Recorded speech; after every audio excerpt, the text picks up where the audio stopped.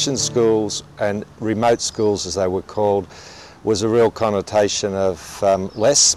So we, we had a, a, number of planning sessions involving each community and across communities uh, to map out a bit of a future.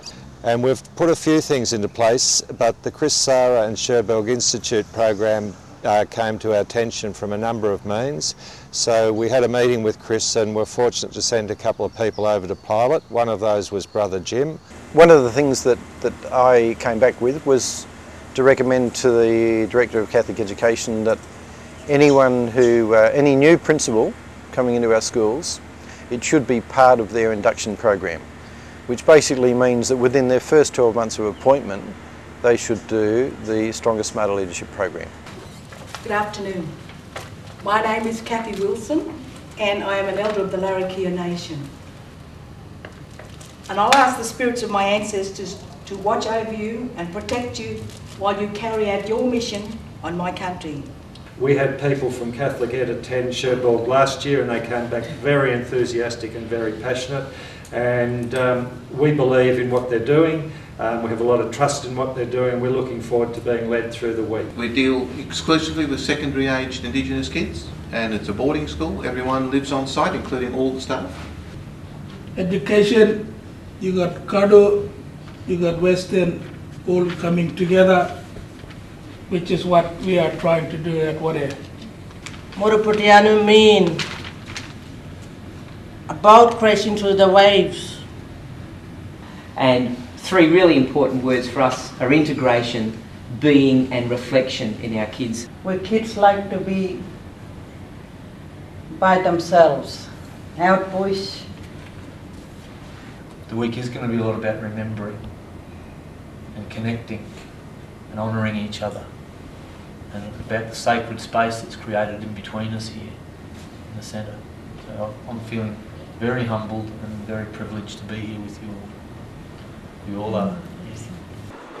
Two rules. Share them out so everybody's happy and play your role. Everybody got a bit of paper? Game on. Greg's on his way.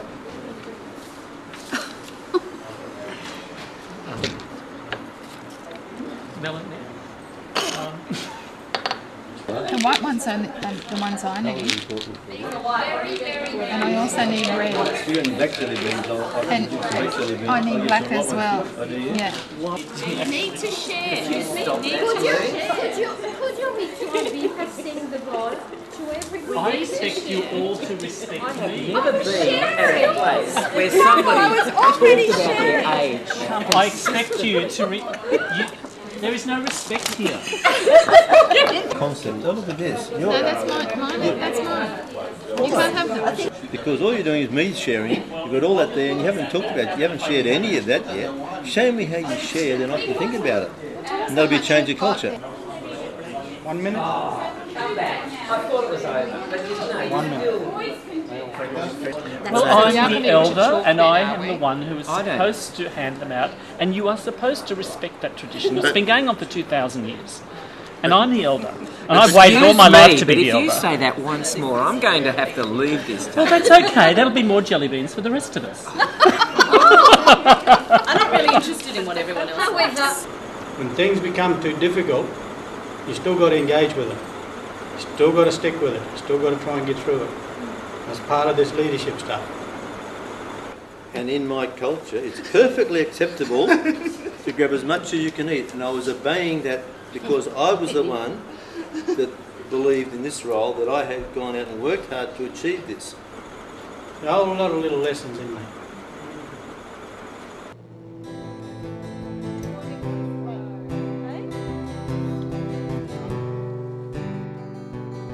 Pretty well got a full success rate now of um, the principals now five schools. By the end of this week, we'll have done the Stronger Smarter Leadership program.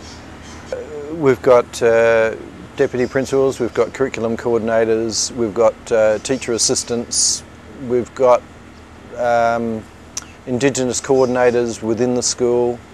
So it's a, it's a whole mix.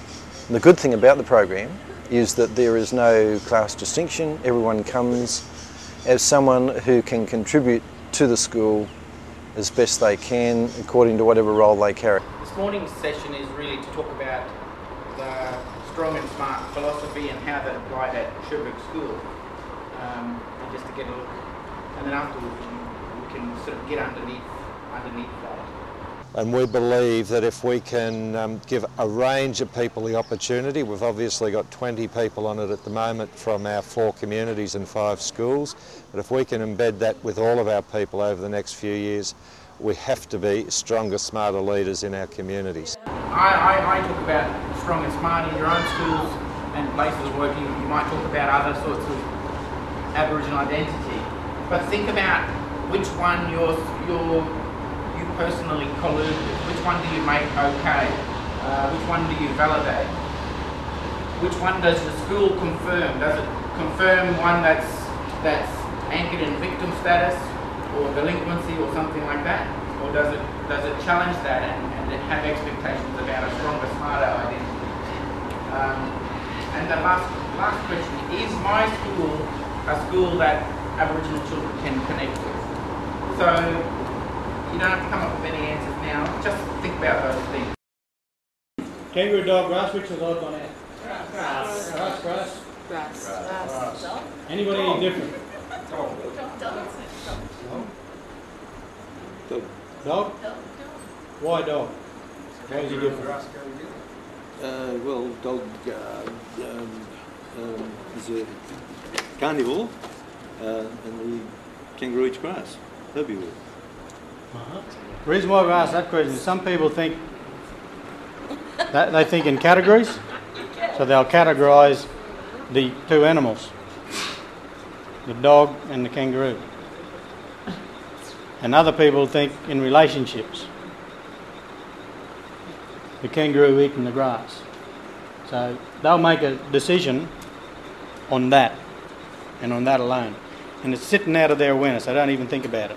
We have to work on giving people an opportunity to form themselves more deeply, to value their own self-esteem and leadership capacity. So at the end of the program, I don't expect people to go back to their schools and go bang, bang, bang with change. I want them to feel better about themselves and feel better about the job they're doing. And it's really about their personal formation. And obviously having a cohort of people go through makes that a stronger process in each community. I don't know where strong and smart happens. I think it's, it happens in a lot of places. It's got to happen within the heart of the individual, but it's also got to happen within the culture of the community. The community has to support the, kids in their education um, because otherwise it's a much harder uphill battle. Place, I belong, I'm connected to this place. Face, teachers and community are there and they say you belong and they connect with. There's a web of support for our young people. And space. On that school site, even though we're 10% in the school, there's our teaching spaces that are for our Indigenous community. There's a community centre space which comes into our school space. That in actual fact there is no line of separation between community involvement community engagement and teaching and learning. They can be one and the same thing. And if we actually start running that line and start involving community in the process, in the act of teaching and learning, then we can kind of hit both targets at the same time the cultural knowledge target and also the community involvement. And I feel really strong about who I am and and I want to be more more of this I want to be smarter I want to be stronger I am already, Manya, I'm already smart, I'm already strong, but more. I want to be more, you know. And and, and this this this gathering that that that we are at is very much the one that I, as a person, was looking for. A leader, looking for leaders, you know, leaders, our people, our indigenous people. And today I'm grateful because our kids learning Tiwi as their first language. And English is their second language.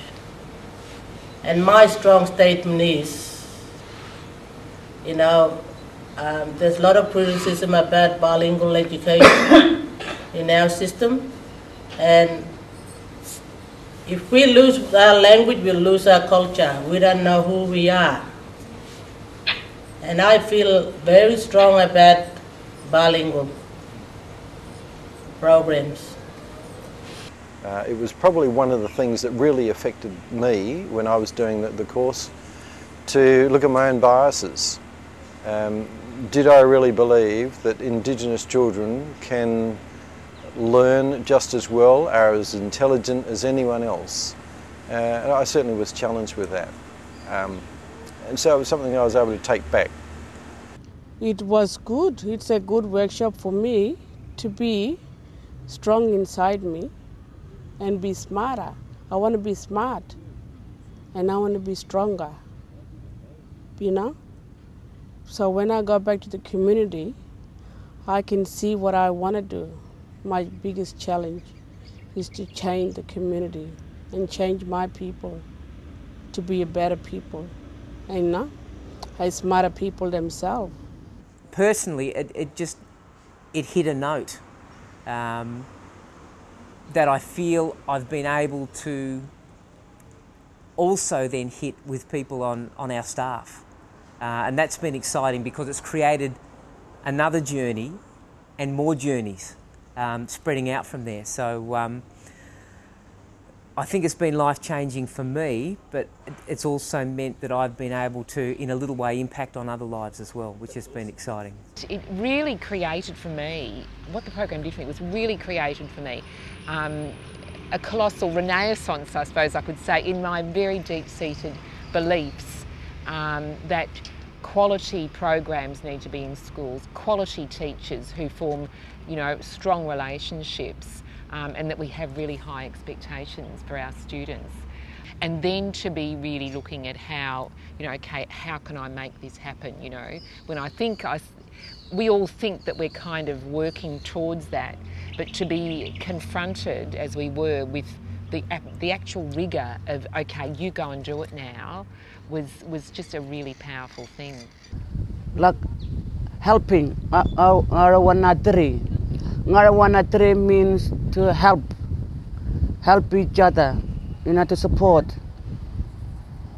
the school with the kids, like getting the elders, parents, and other other organizations, you know, to support, you know, the school. What was being said here conflicts with the accepted, you know, what most people are thinking, uh, particularly around having high expectations of students. I mean, we say that, but then we ignore that when we're working with um, Aboriginal students or even students with just special other learning needs. We abandon that and just lower expectations. I like the stronger, smarter uh, concept and just those two words. I mean, it doesn't matter. It just has to do with working with young people and working as an educator. You know, it's an expectation that we should have of our staff to be stronger and smarter. It's an expectation that we should um, have of ourselves to be stronger and smarter. You know, don't keep don't keep pointing out the problems. All right, we know what the problems are, or you know, you've got to identify them, but just get on with the solution. I want them to be, you know, to learn both ways, to balance to well to be together. We learn English, but inside us, and then we learn our own language, our own culture. So me, I've got two culture inside me, like me. First, I got I learned my culture. Now I'm going forward to learn Western culture. So wherever I go, I'll be two people. I'll be a two person. I'll have two culture in me. It's all about self-esteem. And the Stronger Smarter program is something that really challenges the children to do that. To, to believe in themselves, to believe that they're as good as anyone else, and when they take up that challenge, they sure are.